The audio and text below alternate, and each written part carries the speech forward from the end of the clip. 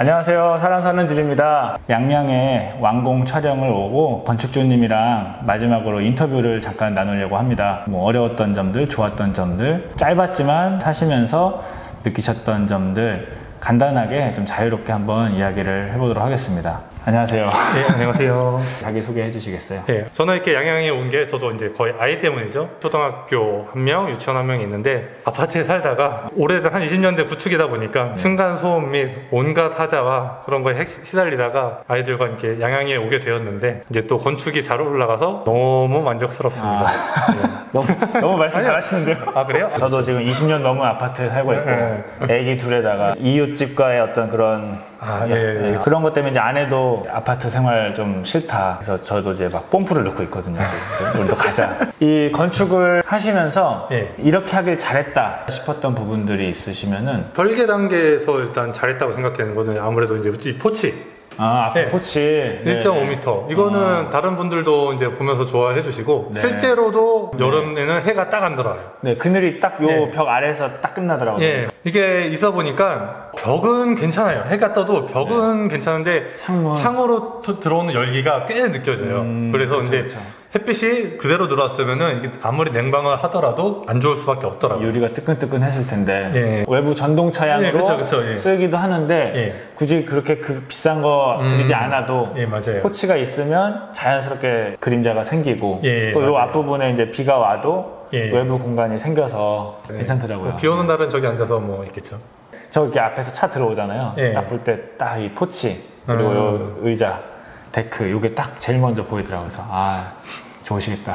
예, 지붕 단열을 제가 과하게 했잖아요. 아 지붕관을 예. 깜빡하게 하셨죠. 저는 이게 로망이라서 하긴 했는데 아. 예, 잘한 것 같아요. 오늘 어제 막 36도, 38도 막 이런데 예. 물론 이제 지금 오늘은 에어컨이 이제 설치가 됐지만 예. 그 전에 에어컨 설치가 안 됐을 때 체감되는 느낌은 어떠셨어요? 음, 제가 지금 있는 콘크리트 건물보다는 한 3, 4도 이상은 좀 낮은 것 같아요. 특히나 이제 낮에는 제가 일부러 문을 닫아놔 봤거든요. 그럼 네. 오히려 닫아놨을 때 더 시원해하고 아 그래요? 왜냐면은 바깥 높을 텐데? 아, 안 그래요. 오히려 안 그래요. 오히려 닫아놓으면은 저녁 때 금방 시원해져요. 아 에어컨이 안, 설치 안 됐을 때도 예, 설치 안 돼 있을 때도. 그렇구나. 저 같은 경우는 더위를 많이 타는 체질이라 그런데 와이프 같은 경우는 선풍기만 틀어도 살겠다. 네. 아, 목조는 그런 거 좋은 것 같아요. 네 단열에서 확실히 좀 예. 유리한 단열이나 있으니까. 이제 뭐 습도, 쾌적성. 이 단열을 잘 해도 여름엔 사실 되게 덥거든요. 예. 저에너지 하우스, 패시브 하우스라고 해도 음. 에어컨은 있어야 돼요, 사실. 음, 맞아요. 예, 이제 초창기 패시브 하우스 처음 막 들어올 때 이제 패시브 하우스니까 여름에 에어컨 없어도 된다 이렇게 네. 하셨다가 나중에 다신 분들이 많거든요. 저는 내심이 약간 이제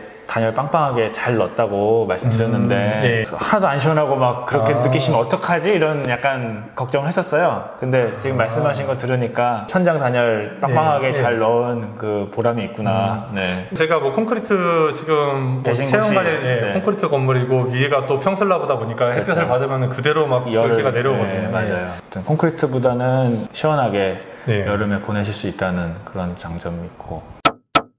제가 느끼게 했던 것도 좀 말씀드려볼게요. 네. 저는 천장고 높이신 음, 거, 이거 음. 굉장히 잘하신 것 같아요. 집이 30평이잖아요. 예. 이 천장고만 높여, 높여 도 이 거실이랑 요 주방을 봤을 때 한 40평 집 음. 주방이랑 거실 같은 느낌이 나요. 어. 네, 이게 공간이 확 튼 느낌이 나니까 또 이제 아파트에서 못 하는 거잖아요. 아, 그쵸, 그쵸. 하고 싶어도 못 하는 예, 거. 저는 좋아요. 네, 예. 네, 네. 마루도 넓어 보이고 시원시원하고. 네. 네, 감수를 하셔야 될 게 있어요. 가구 같은 거 놓을 때, 인테리어 아. 할 때, 뭐든지 이제. 추가해요. 뭐든지. 사실 건축비에도 추가가 있지만, 뭐 도배할 때나 견적에도 아, 추가가 그쵸. 되고, 네. 2m 2.43인가? 네, 예, 거기가 2.4. 한계예요. 예. 네. 그래서 그 위는 비워두던가, 아니면 판으로 또 네. 넓게 막던가, 저는 그게 싫어서 이렇게 또 수납을 했는데, 그것도 음. 사실은 사다리 타고 올라가서 써야 돼요. 그렇죠. 네, 그렇죠. 이제 계절짐 같은 거 넣으시는 거죠, 예. 여기다가는. 그리고 싱크대 상부장도 사실은 그런 이유로 안 했어요. 위에가 남아버리니까. 예, 맞아요. 위에가 네. 남아버리고, 거기 실어버리니까. 가구가 우리나라 다 아파트 천장에 기성에 맞춰서 나오니까 네, 맞아요. 그런 건데 비용을 조금 더 들여서라도 예. 지금 이런 것처럼 가구를 맞춤으로 하시면은 예, 맞아요. 이제 딱 깔끔하게 될 수는 있겠죠. 예. 비용 물론 비용 문제긴 하지만 아니 뭐 모든 거는 비용 문제입니다. 돈, 돈, 돈 들어서 안 되는 건 없어요. 맞아. 저는 상상하시는 거의 모든 게 다 돼요. 이것만 있으면 네. 건축주가 공부를 많이 할수록 그 가성비를 찾아낼 수 있는 거죠. 효율, 그렇죠. 효율적인 예, 거를. 예. 예. 처음 했던 예산에 거의 뭐 빡빡하게 들어왔어요, 사실은. 아 예. 그러세요. 예. 순수 건축비만 봤을 때 싱크 가구만 빼고 다 해가지고 어. 한 1억 7천 조금 넘었던 것 같아요. 가구랑 싱크대 하는데 1,500. 어 그래요? 예. 아 싱크대가 좀 비쌌구나. 싱크대랑 가구가 많아요. 아, 붙박이장이 그렇죠. 두 개, 아, 그렇네. 저기 화장대. 예, 화장대랑 예, 화장대. 뭐 여기 장 여기 장 아, 이것도 맞춤장. 제작이고. 예. 아. 가전이 천 얼마 정도 들었을 것 네, 같아요. 그 정도죠. 예. 그래도 2억 안에서 끝내 끝- 거의 끝내신 거네요, 그러면. 거의 한 2억 될 것 같아요. 2억 네. 정도. 예. 전에는 이제 평당 한 500 정도 최소 500은 돼야 된다 생각했는데 네. 요즘 좀 올라가지고 지금 안 돼요. 네, 최소 아무리 그냥 600 이하는 600도 요새는 마이너스, 자칫한 마이너스예요. 네. 그 이하나 좀 생각 안 하시는 게 좋은데 아직까지도 400대 막 이렇게 지으시려고 하시는 분이 많은 것 같아요. 5년 전에도 400은 쉽지 않았는데. 근데 사실은 그런 업체가 그렇게 홍보하는 업체가 있어요. 네. 하지만 나중에 수거해 보면 거기서 거기다. 그렇죠. 네, 나중에 다 추가, 추가, 추가 맞아요. 눌리니까. 추가, 추가, 추가죠. 네, 네.